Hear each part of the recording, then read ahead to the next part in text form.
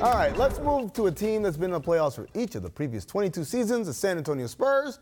The common denominator for each playoff appearance is Coach Pop.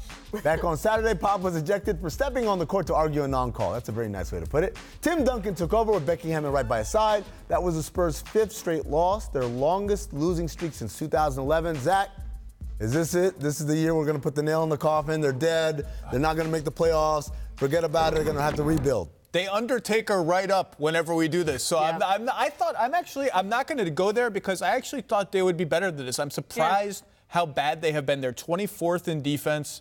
Um, they just look bad and disorganized. And I, I, I actually thought with Murray coming back yep. and and I'd like the DeMarre Carroll signing. I don't really know what's going on there. He hasn't played. I'm a little surprised how bad they are. But what scares me eight home games already yep. and a really easy schedule, and they're way behind the eight ball, and they stink with DeRozan and Aldridge on the court again, which is a problem that it was last year. See, to me, this is the first real transitional year for the Spurs. I know we just celebrated Tony Parker's jersey retirement, um, and they haven't been on the team. That core, the big three, is all, you know, is gone.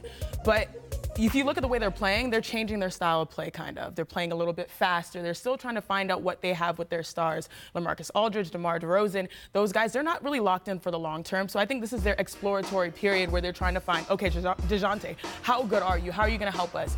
They don't have anything tied to the future. So this is the first time that pop system is evolving. And I'll even allude this to Stanford women's basketball. When I was at Stanford, um, we played triangle the whole time I was there. When my sister and I graduated, there was not necessarily a dominant post for the first time in a long time. Mm-hmm. They had to redo the system. And there were some times where, okay, you didn't make it to the Sweet 16, you didn't make it to the Final Four, but a couple years later, you find your new identity. This is the first time their system is really changing. And our coach, Tara VanDerveer, is a Hall of Famer, very similar to Pop. I, I, li- I like your humble brag, by the way. Oh, they didn't have a dominant post presence. But it takes some time. Well, uh, there's also the triangle that you have to be smart enough to go to Stanford to run the triangle. Oh. Where did you go to school? I, I, don't know. um, can we talk, though, about the missed opportunity? Like, Tim Duncan was coaching that team, but there was a lot of there was a lot of confusion about who was right. the actual coach there. And I, I was following this. I, we tried to watch it on League Pass because we were at the Clipper game that night, and the it was it was Becky Hammon had the clipboard, and she's the highest ranking assistant besides Pop. So it seems like that should have been her game. So she has the clipboard. Will Hardy's in there. Tim Duncan's there. Pop clarified afterwards that Tim was coaching the team because he had the Blazers scout, and so therefore he stepped okay. into that role.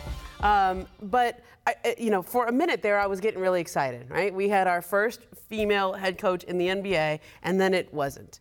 Um, and I and I I've processed this a little bit. I was I actually had, had a chance to run into Lindsey Harding, who was who was uh, here with the Sacramento Kings the other night, and we were, we were talking about there's but there's ten female coaches female coaches in the league right now. Um, they're all assistant coaches, and Becky was the first, but now that there are 10, I think we have to be careful to not to always focus on the history and, and remember like she needs to be treated and they all want to be treated the same way any assistant coach would be. Yeah. When the when you earn that opportunity, when it's that when it's that moment where you're going to make the history that you've earned it and you're not just getting it because you were a woman and we're not focusing on that because you're a woman. So I guess as much as I was disappointed, I understand it because Tim to, did have this. To be honest with you, Ramona, I remember when she was uh, yeah. interviewing for the job in Milwaukee, and I said, yeah. and people got on me because they were they thought I was trying to throw shade, but I said this doesn't happen. Second row assistants yeah. don't get interviews. head coaching interviews, and there's a kind of stepping stone process, and I kind of respect that, you know, that that's what she's going through right now.